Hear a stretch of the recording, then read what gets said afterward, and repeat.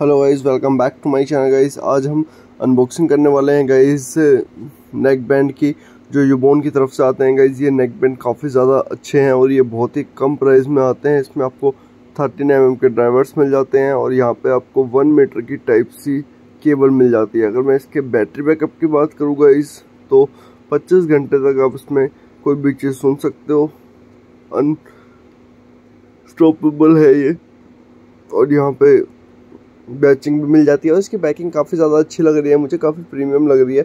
आप देख सकते हो दोनों साइड जो है वो यू बोन की सील लगी हुई है ताकि जो है वो ओरिजिनल है। अगर मैं इसकी रिप्लेसमेंट की बात करूँ तो यहाँ पे आपको वन ईयर की जो है गाइज़ इसके अंदर रिप्लेसमेंट मिल जाती है। तो अगर आपके यू बोन के स्नैक बैंड में कोई भी दिक्कत आती है, जैसे आपको एक कान में आवाज़ कम आ रही है या कुछ भी दिक्कत आती है फ़िज़िकल डैमेज के अलावा तो आप उसको रिप्लेस करा सकते हो। यही इसकी खासियत है और ये बेस्ट फैक्ट्री 2.0 है यू बोन की तरफ़ से। और इसको इंडोज करते हैं आपको टाइगर श्रॉफ तो गाइज़ हम इसकी अनबॉक्सिंग करेंगे और देखेंगे कि क्या क्या चीज़ें इसमें आपको खास लगती हैं और इसकी बिल्ड क्वालिटी के बारे में बात करेंगे और फिर साउंड क्वालिटी का भी टेस्ट करके आपको बताएँगे कि क्या इसकी साउंड क्वालिटी अच्छी है, क्या बुरी है। तो सारे बने रहना इसी वीडियो में गाइज़ और अगर आपको वीडियो पसंद आए तो प्लीज़ लाइक कर देना चैनल को सब्सक्राइब कर देना तो हम इसको जल्दी से जो है गाइज़ वो अनबॉक्स कर लेते हैं। उससे पहले गाइज़ जो लोग नए हैं, वो प्लीज़ मेरे चैनल को सब्सक्राइब कर दो वीडियो को लाइक कर दो, अपने फ्रेंड्स के साथ शेयर कर दो, जिन्हें भी सस्ते नेक बैंड चाहिए होते हैं, या फिर जिनको सस्ते नेक बैंड यूज़ करने होते हैं, उसके बाद टूट जाते हैं तो उनके लिए ये बहुत ज़्यादा अच्छा ब्रांड है। अगर मैं इसके प्राइस की बात करूँ तो ये आपको एट हंड्रेड का मिल जाएगा।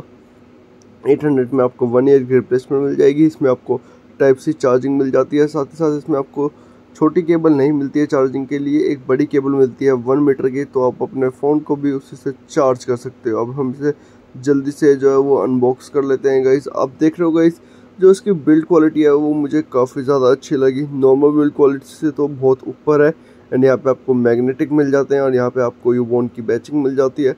साउंड क्वालिटी का भी भी हम टेस्ट करेंगे गाइस लेकिन उससे पहले आप इसकी बिल्ड क्वालिटी को देखो गाइस काफ़ी ज़्यादा अच्छी बिल्ड क्वालिटी है स्ट्रॉन्ग है, और काफ़ी स्मूथ थे, ये ऐसा सिल्की सा फील हो रहा था जब इसको हम टच कर रहे थे। तो ये है यूबोन की बिल्ड क्वालिटी और इन भैया को जिनके लिए हमने मंगवाया, इनको यूबोन ही पसंद